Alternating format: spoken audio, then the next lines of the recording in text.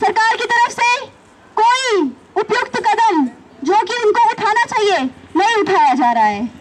साथ ही साथ अश्लीलता अपसंस्कृति नशाखोरी को बढ़ावा दिया जा रहा है।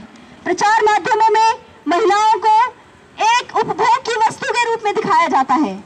एक ऐसी एडवर्टीजमेंट कोई काम ही नहीं है, उसमें भी महिलाओं को प्रोजेक्ट किया जाता है। कि देखिए, इससे आपका माल बिकेगा। क्या सरकार ये सब चीज़ें देख नहीं रही है? क्या वो इन सब चीज़ों को बंद नहीं कर सकती है? क्या यही उनका एजेंडा है महिलाओं को बचाने का और महिलाओं को सुरक्षा देने का?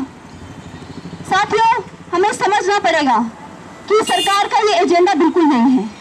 सरकार का एजेंडा है हमारे देश के युवाओं को हमारे देश के बच्चों को नशे में धकेलने का।